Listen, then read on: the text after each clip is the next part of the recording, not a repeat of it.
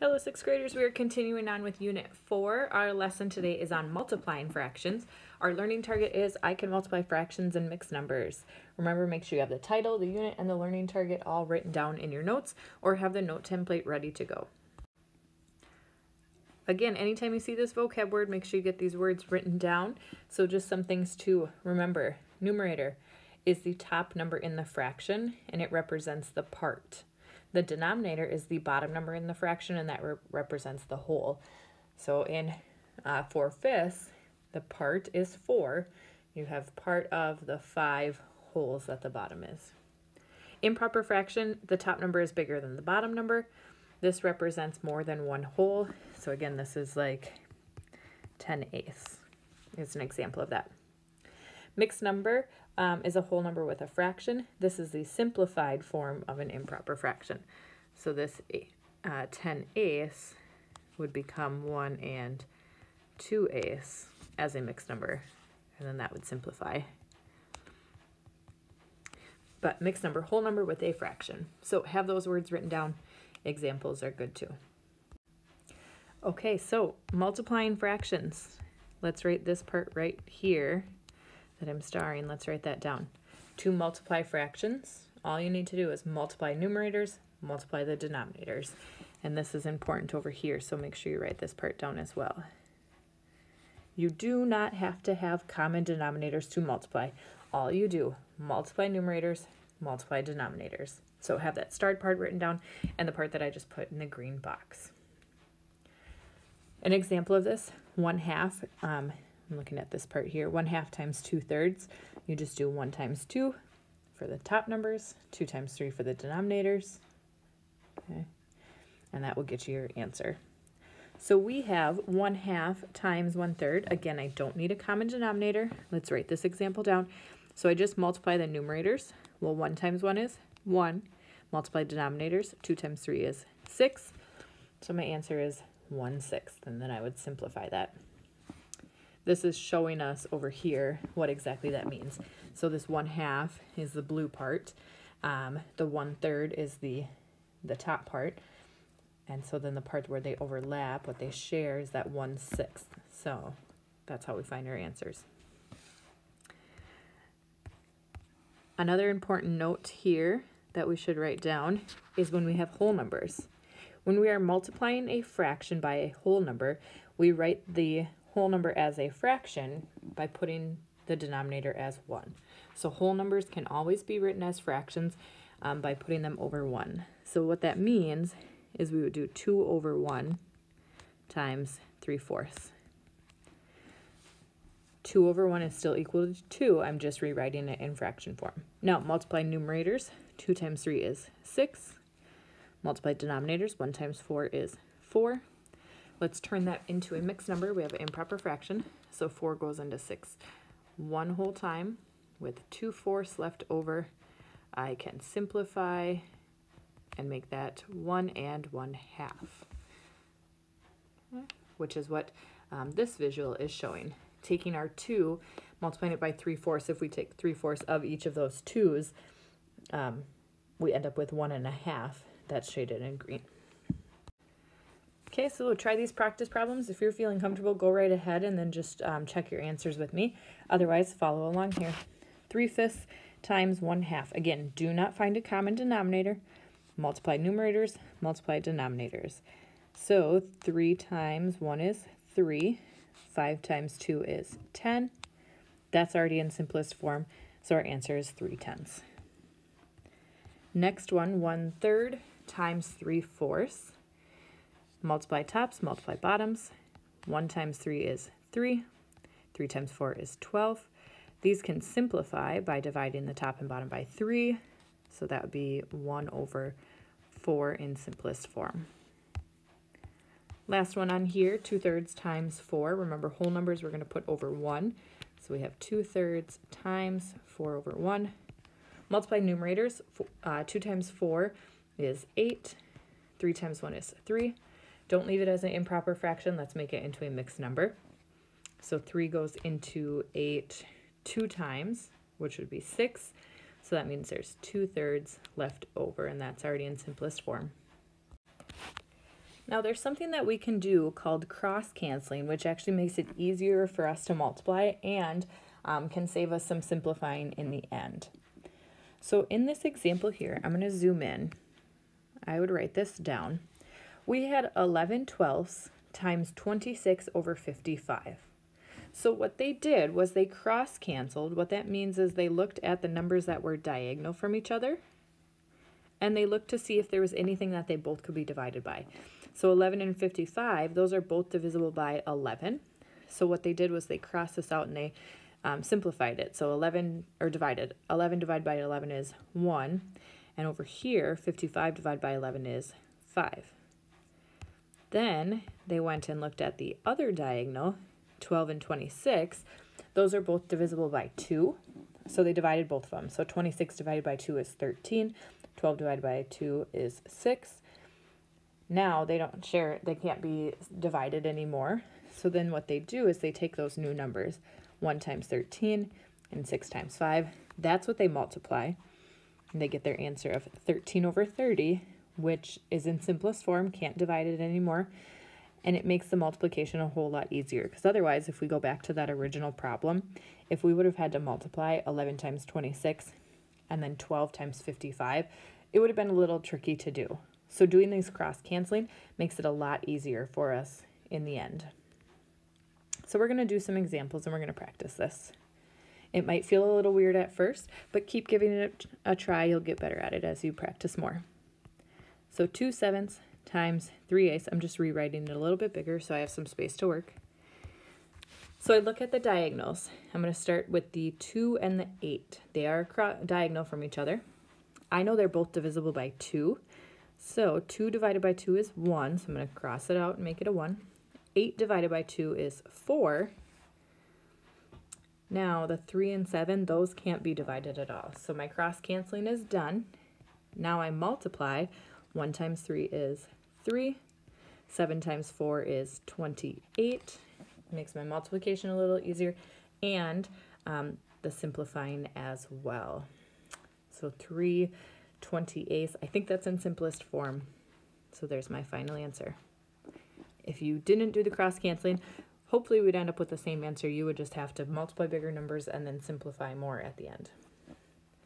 So now I want you to try these next three, and I want you to try um, the cross canceling. So one third times 3 sevenths. Um, on the 3's, those can both be divided by 3. 3 divided by 3 is 1. And the 1 and 7, those can't be cross-canceled at all, so now we can just multiply. 1 times 1 is 1. 1 times 7 for the denominators is 7, and that's in simplest form. Next one, 4 ninths times 1 eighth. Again, let's practice cross-canceling. The 4 and the 8, those are both divisible by 2. 4 divided by 2 is 2, and 8 divided by 2 is 4.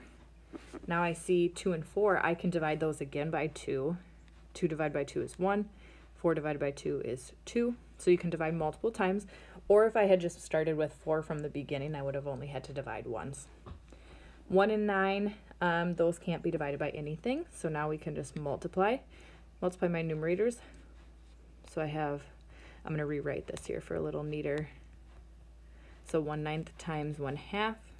1 times 1 is 1. 9 times 2 is 18. And that's in simplest form. Last one, 5 sixths times 3 fifths. 5 and 5 diagonal from each other. Those can be divided by 5.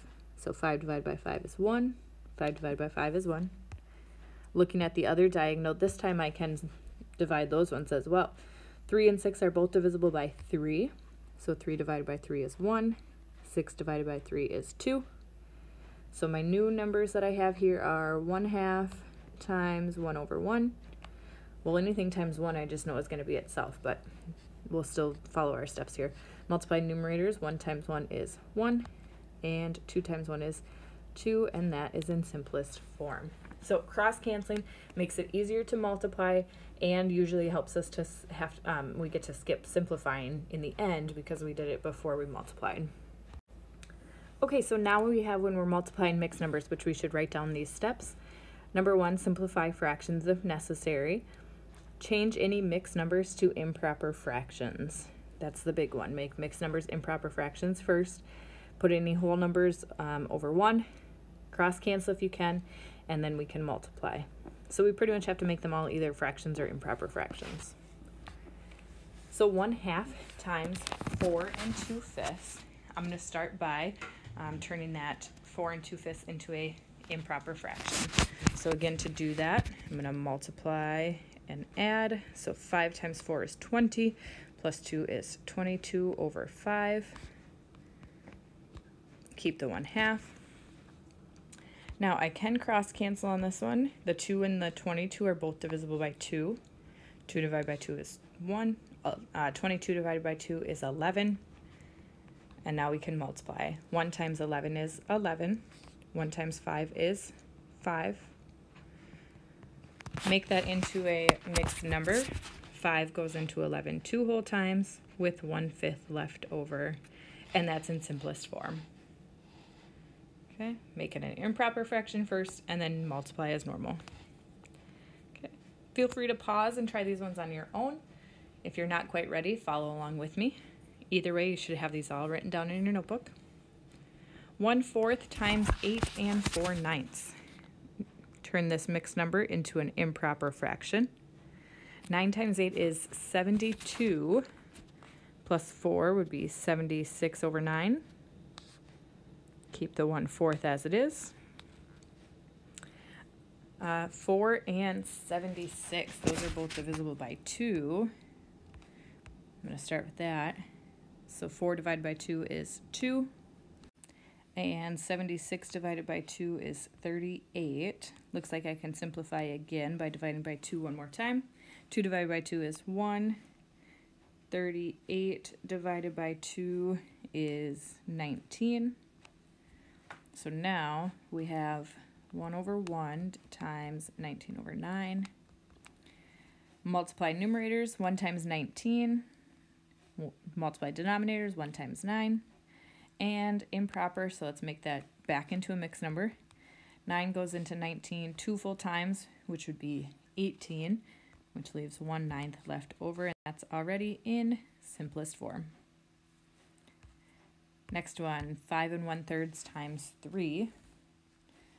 Turn this into an improper fraction. 3 times 5 is 15, um, sorry, plus the 1 would be 16 over 3. Whole numbers we put over 1, so 3 over 1.